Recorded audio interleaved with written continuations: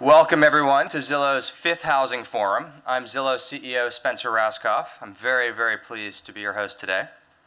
We're thrilled that all of you in the audience and those watching via the live stream online can join us today to discuss the future of housing. It's hard to characterize the U.S. housing market over the past decade as anything other than a roller coaster, with home values dropping so far and so fast, and then almost without warning, rising nearly as far and fast.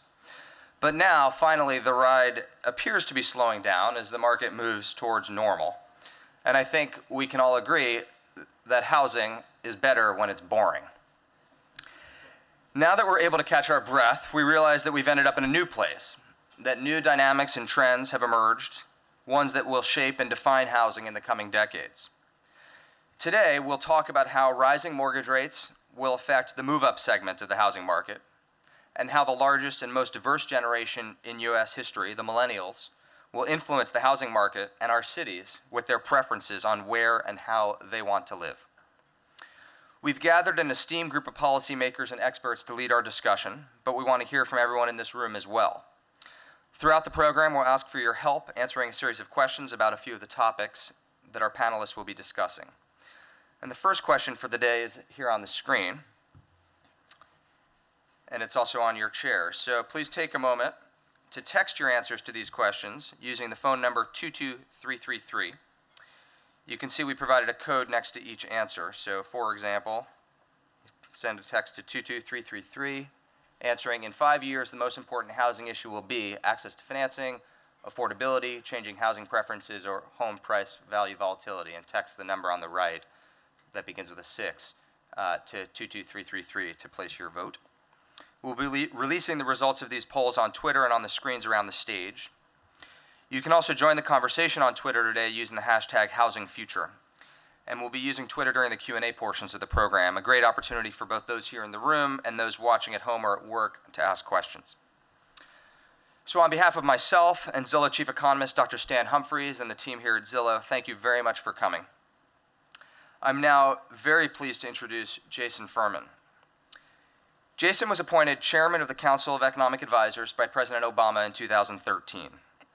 Previously, he served as assistant to the president for economic policy and the principal deputy director of the Economic Council. From 2007 to 2008, he was a senior fellow in economic studies and director of the Hamilton Project at the Brookings Institution. He also served as staff economist at the Council of Economic Advisors under President Clinton and senior advisor to the chief economist and senior vice president of the World Bank. Jason is also the editor of several books on economic policy, including Path to Prosperity and Who Has the Cure. Please join me in welcoming Jason Furman.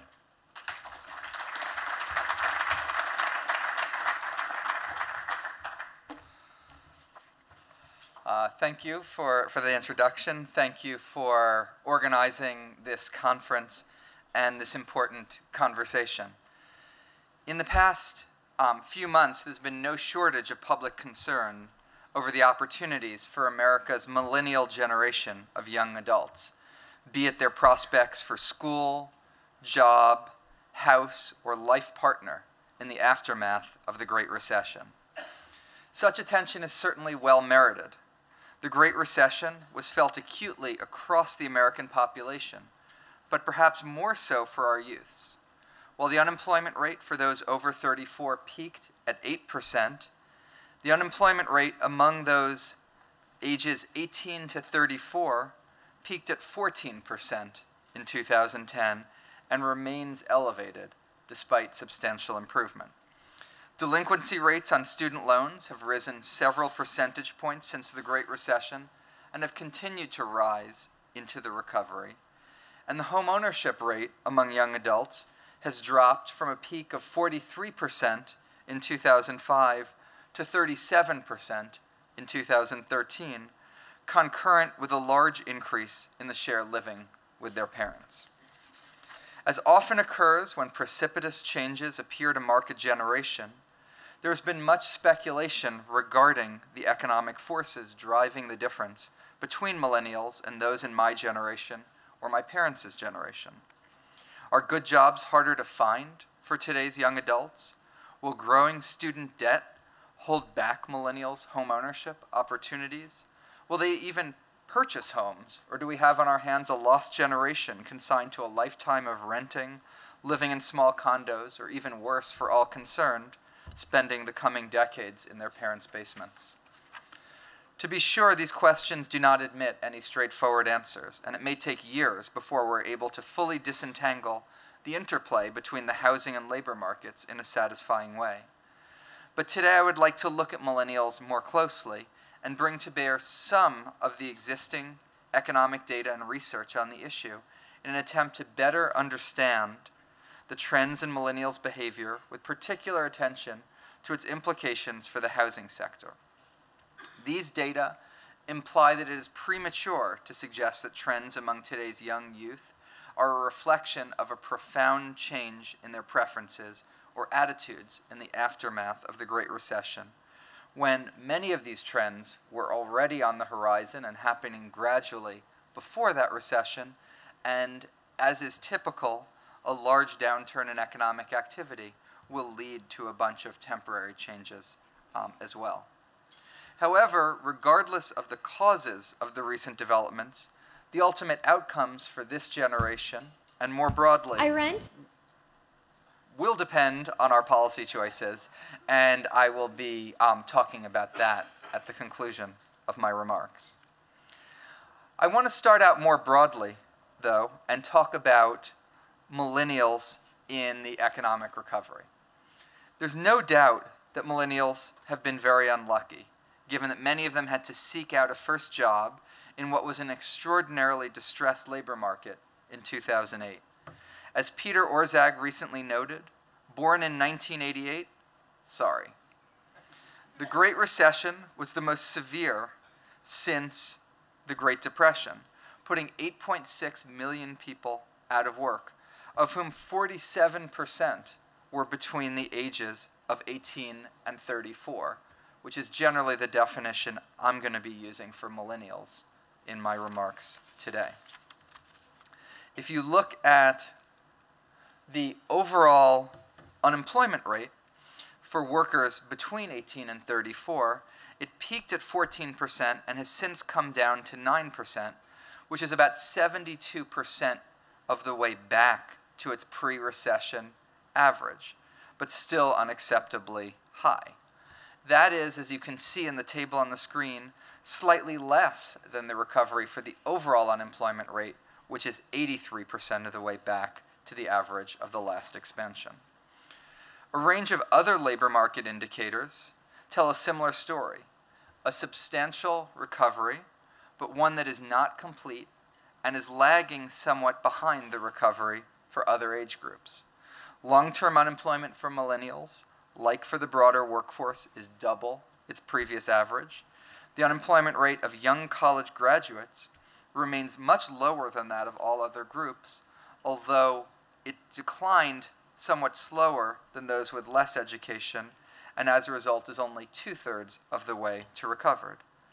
Finally, the overall unemployment rate um, is the overall unemployment recovery is not just in the official unemployment rate.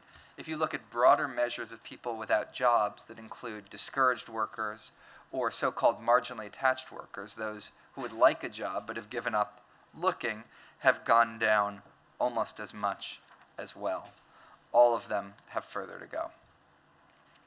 The Great Recession comes on top of a longer term trend of reduced labor force participation and increased schooling by young people.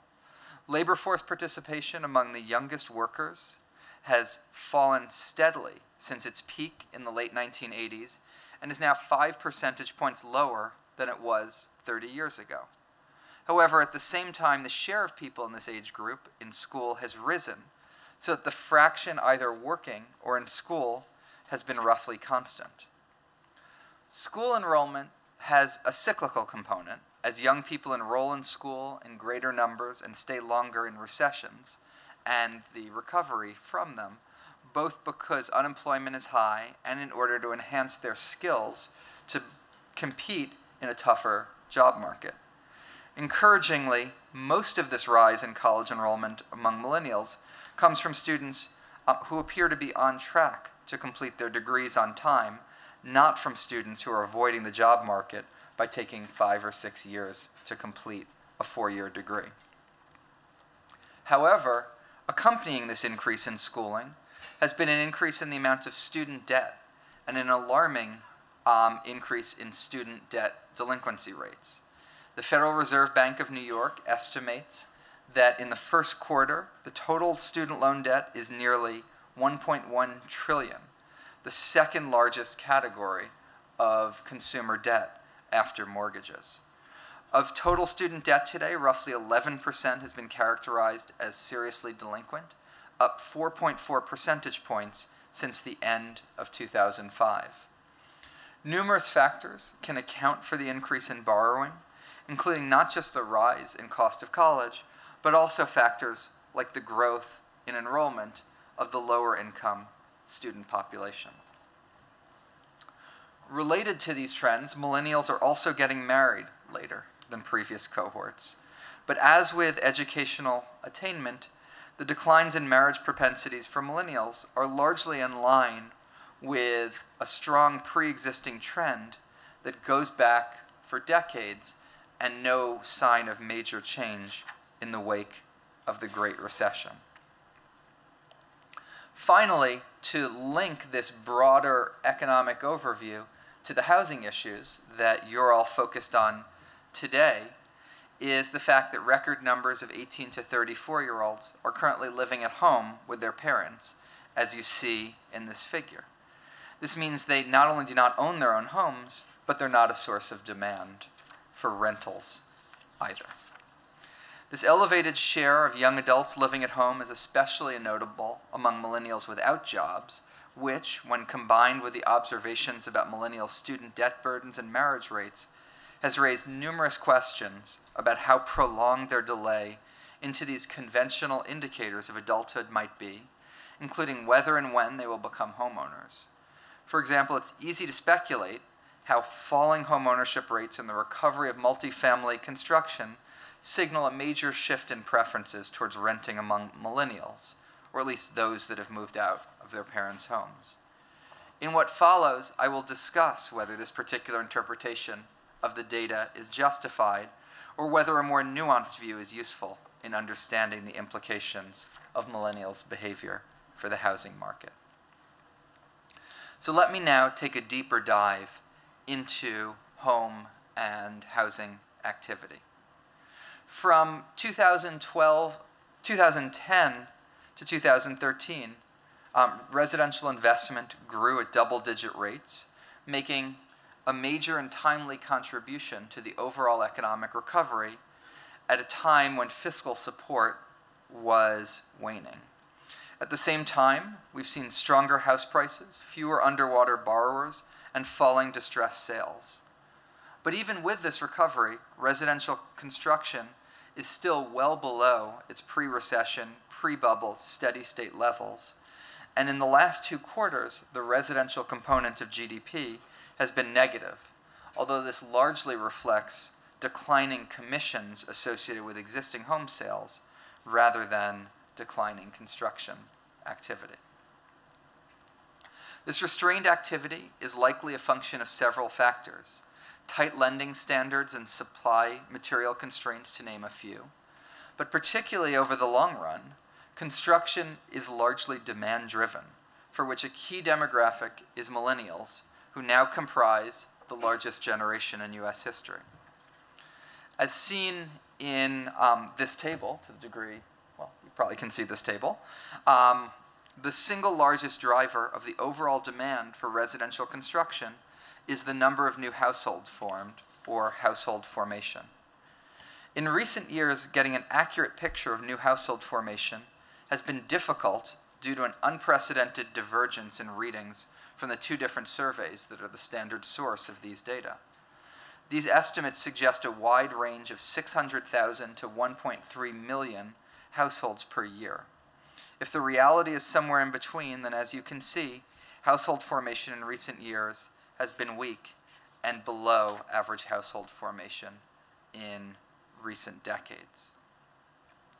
Household formation is the product of two factors the overall growth in population and the headship rate. the share of the population that either rents or owns, in effect, the share of the population not living at home. The weak recent household formation readings mostly reflect a decline in headship, including for young adults, as you can see in this next figure. In fact, the decline in headship among young adults alone over the last decade likely resulted in a loss of over 1 million households cumulatively. So, what caused this drop in the headship rate in millennials, which has stabilized and led to a slight increase recently, but not enough to make up um, for the drop and not close to as much of a recovery as we've seen in other economic indicators like the unemployment rate? Um, some have speculated that this increase in living is just an artifact of measurement error associated with college. Um, we don't see evidence for that. One factor that's certainly at play is the business cycle and the impaired labor markets during the Great Recession. As documented in the economics literature and something you can see very clearly in this chart, the headship rate has a very significant cyclical component, and the business cycle conditions are the primary factors determining headship decisions in the short run. But as you can see here also, that blue line, the unemployment rate, has come down more sharply than the green line, which is the inverse of the headship rate. This suggests that as the economy and labor markets continue to improve, headship among millennials um, could rise and provide a boost to household formation. But it also suggests that there are other factors um, at play. While it's important um, to understand headship, it's also important to understand whether people are owning or renting. On average, construction um, of a multifamily unit results in 60% less of a contribution to GDP than a single family unit would. In the recovery so far, the decline in multifamily construction was relatively small and is fully recovered, while single family construction fell dramatically and remains well from recovered, as shown in this figure. Some argued that the explanation for this is a profound shift in preferences among millennials for owning versus renting, so that even if the headship rate and household formation were to recover, millennials would be a generation of renters rather than owners. I think, however, there's a lot of other plausible explanations, both for what we've seen in terms of headship and for the owning versus renting um, changes that we've seen. Um, for one, there doesn't appear to be a drastic shift in the home ownership rate over successive cohorts of young adults beyond the previously identified secular trend in delayed adulthood. The long run decline in ownership is present across income levels, but is largest for high earners, consistent with larger declines in headship among this group. Analysis undertaken by Trulia's chief economist, Jed Kolko, finds that the homeownership rate among young adults features a secular downward trend explained by changing demographics rather than any dramatic change in preferences. That said, as the sharp post recession changes that I showed you tell, consistent with the longer standing cyclical patterns, there is good reason to believe that the increase in unemployment in the wake of the recession would have a commensurately large but temporary impact on both headship and home ownership. Other factors at play in the multifamily versus um, versus own owner occupied construction is um, what's gone on in mortgage credit in the wake of the recession, and that also has recovered less quickly than broader economic indicators like the unemployment rate. Indeed, research by Federal Reserve economist Neil Bhutta estimates that higher credit score thresholds used by lenders in the aftermath of the Great Recession can explain about 40% of the drop in first time home buying in recent years relative to the early 2000s. In contrast, builders do not appear to be facing as many constraints to finance multifamily construction as with single family construction. Notably, issuance of private label commercial mortgage backed securities has recovered to pre bubble levels, and the Federal Reserve's Senior Loan Officer Opinion Survey has reported net easing of standards for commercial real estate loans for the last three years. Finally, the recovery in multifamily construction may be a byproduct of the uneven housing recovery. To date, construction of multifamily units has been concentrated in markets with relatively inelastic housing supply. On balance, these markets feature relatively high density and currently do not have a large supply of vacant homes.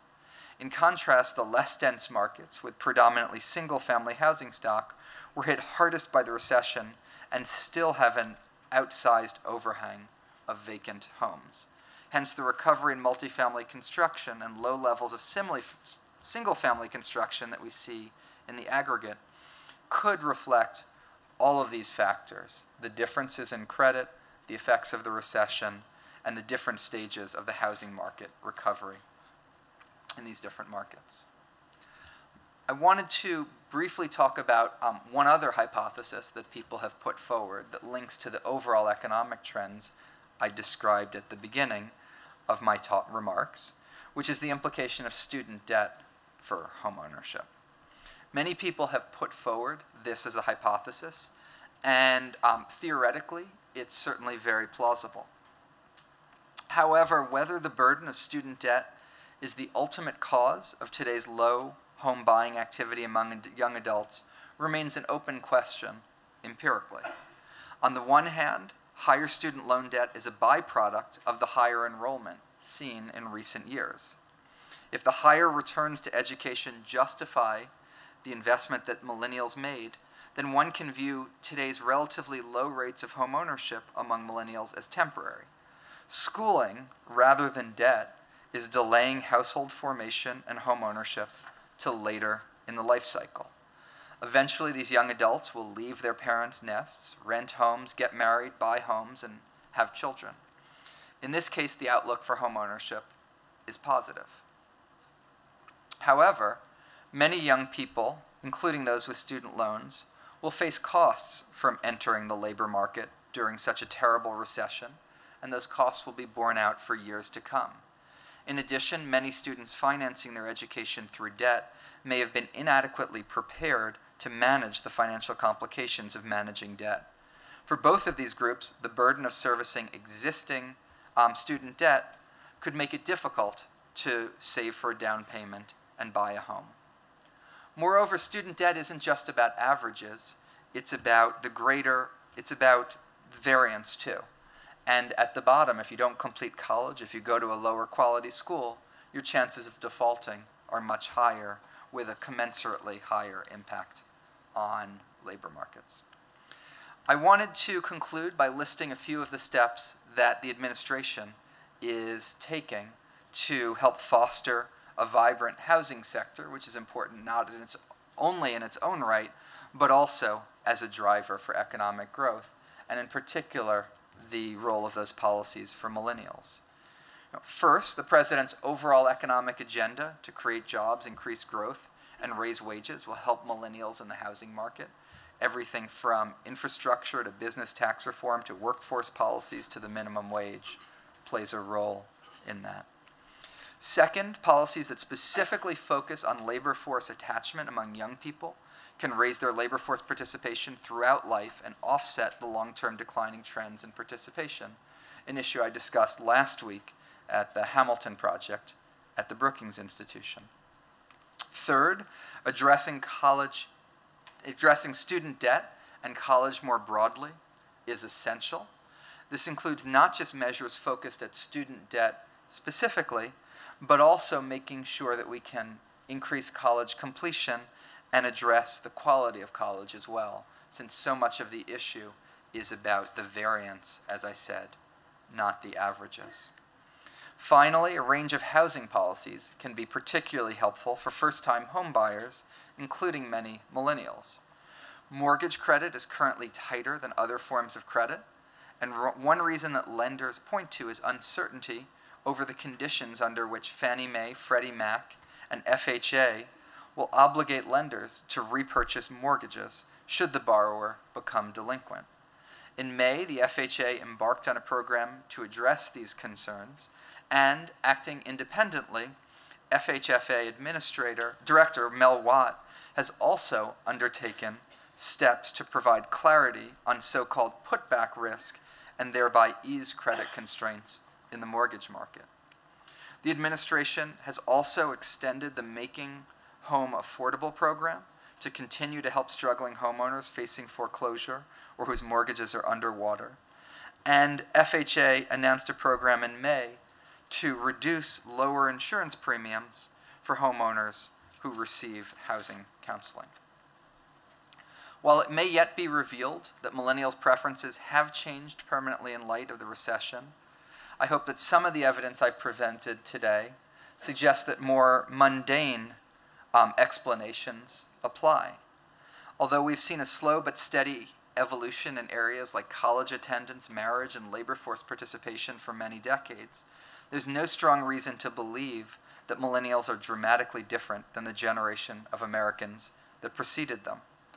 Rather, it is the unlucky economic times with which they were presented that explain much of their challenge. We have the ability to do a lot to address those challenges, and the onus is on us to do it. Thank you.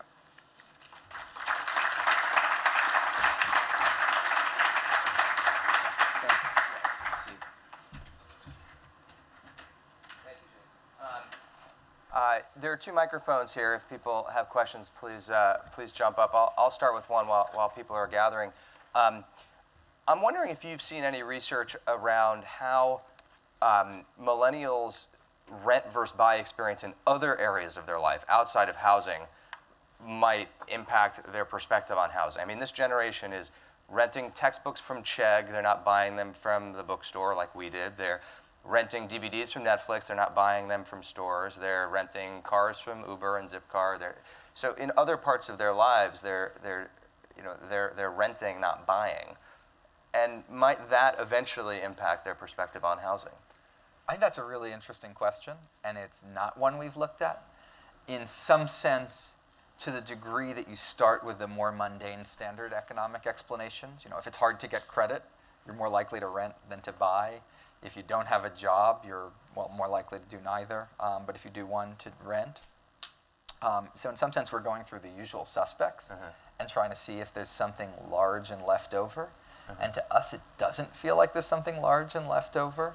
Um, that being said, you know, I think one would want to take that seriously, and I don't think anything you know I've presented is close to conclusive on these questions. So we'd we'd want to stay tuned. Um, is there a question over here? No. Um, okay. Um, so um, I guess w- what advice would you give? Let's say you had a, a, a younger sibling or, or, or a niece or a nephew that were a millennial. We've learned that they're out of work, they're up to their eyeballs in student debt, they're going to get married later. Um, it, it, it sounds pretty grim. Uh, they're probably living at home. Um, what, uh, what advice would you give to this generation if, Right. if you could speak to them? Right. I mean, I was trying to present a more nuanced picture of student debt than um, than your admittedly um, provocative Shorthand. statement, shorthand replied. You know, and if you look on average, student debt is about twenty-five thousand dollars. On average, you get about fifteen thousand dollars per year of additional um, income from going to college. So on average, it's not only a great deal, but it's a great deal that will put you in a financially better position to buy a home. If you're making fifteen thousand dollars a year more, um, you know, even with that extra twenty-five thousand in debt, you'll be better able to buy a home, not less. You know, often because you go to college, you're probably going to get married a little bit later. You're potentially going to buy a home a little bit later. A lot of things will start later. Um, that's not necessarily a bad thing. That that can be, um, you know, a perfectly good thing. So I think the first piece of advice is, you know, worry a lot about the bad case. You know, you don't want to end up in a program where you, dri- uh, you know, a for-profit school that's a fly-by-night operation that you don't even get your degree from. You end up with a lot of debt. You don't get the commensurate earnings, and you are in a bunch of trouble. So worry about that. But don't be scared by those stories into missing the bigger point, which is that, you know, on average, um, for most, um, you know, it's a very good deal and it expands your prospects um, going forward. I, I mean, oh, oh, there's a question here? Okay, go ahead, Yes, please. hi, my name is Tony Mungrove from Century 21 Advantage Golden, Philadelphia. And I have a question about policies that are geared to help the millennials um, invest while they're in school.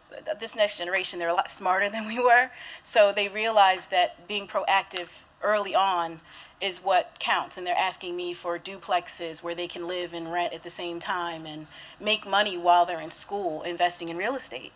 Um, but because they're in debt and their credit scores might not be right, and are there any policies to help them be proactive in doing that early?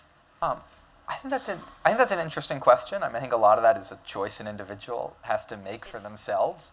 Um, you know, if you're in college, you probably shouldn't be saving a lot. Um, chances are the return you're getting on your savings is less than uh, you know the cost of your debt would be. So there's nothing wrong with smoothing your consumption over a life cycle. Um, at, you know, at a, at a stage like that. But to some degree, the example you were talking about um, wasn't just renting, but in a sense working. Um, in that renting that apartment, a lot of the return they're getting to that isn't just the capital they're putting into it, but is the time and effort. Um, and that might be, um, you know, in some cases, a, a higher return activity to them and a, and a good way to make some money um, on the side. So um, I should think more about the policy implications of that, but you know, I think a lot of things are, you know, choice that people can make or can't make, and there isn't, you know, an awfully large role for government one way or the other. So we've found that it's not a renter generation kind of at their core. It's the economic circumstances that they've been presented in terms of affordability, credit availability, and a bleak job market when they were coming out of school that has, has caused a decline in, in, in first-time home buyers and, and headship rate among millennials. And you don't think there's a, a fundamental shift in this generation, a bias towards renting over buying that will persist kind of as they as their economic circumstances improve over the next 10, 20 years. Yeah, Is I- that fair to, is it a fair I think that summary? is a. I think it's fair to say that I place a lot of weight on that view. Okay. It's like everything; it's still early. We're still sorting through it. You know, some things we won't see for years to come. So I would not want to make a definitive statement along the, as definitive as what you just did, even though that's that's more interesting. Um, but I think there's a lot of you know more conventional, mundane explanations for what we've seen, both trend explanations and cycle explanations. And personally, I like to work through those. And if there's still a large mystery left, then you know point to Netflix and Uber and whatever else as, as something fundamentally changing society. Um, so I think there's a lot of reasons to be somewhat skeptical of these large discrete change stories, but you know I certainly wouldn't wouldn't at all rule it out, and I'd, I'd be attentive to that possibility. One more? Uh, no? Okay, all right. I think we need to stay on schedule. So, Jason, thank you very, very much. Okay. Thank you. Appreciate it.